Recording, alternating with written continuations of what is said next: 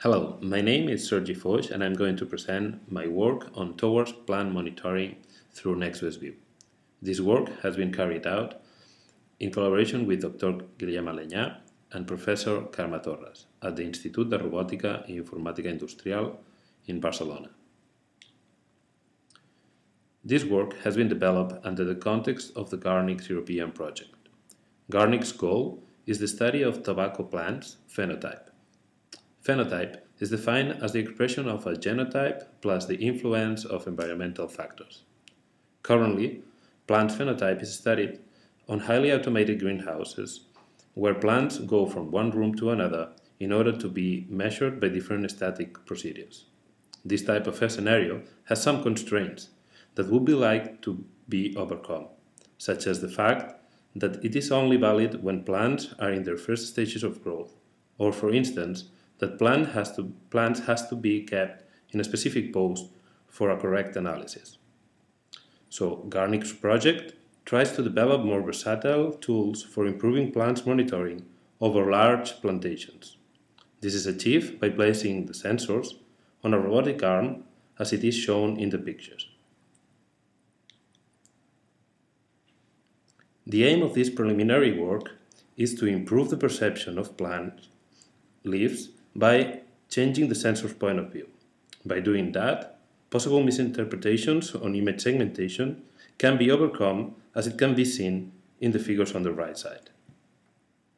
Our setup consists of 7 degrees of freedom manipulator and a time-of-flight camera attached to its end effector. Experiments are carried out with a PMD CamCube 3 time-of-flight camera as a perception sensor. Such camera has the special feature of providing registered and de depth and intensity images at a high frame rate.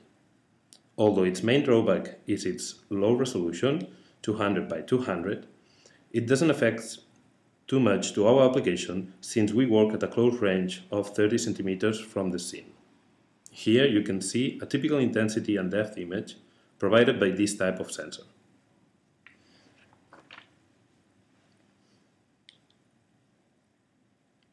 Segmentation in this work is based on the article of Dellen et al. presented at the workshop on applications of computer vision in 2011.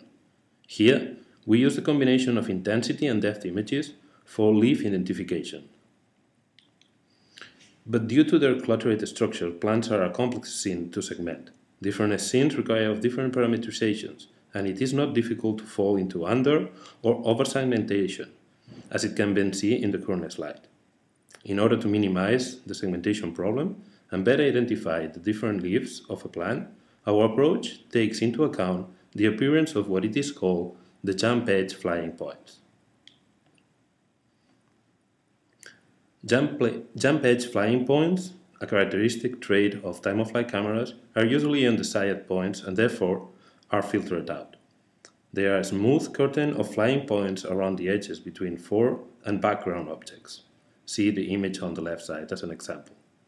On the right side, you can see a cluttered scene before and after filtering. Pay attention to the fact that identifying such points can give us information about the possible contour of the leaves.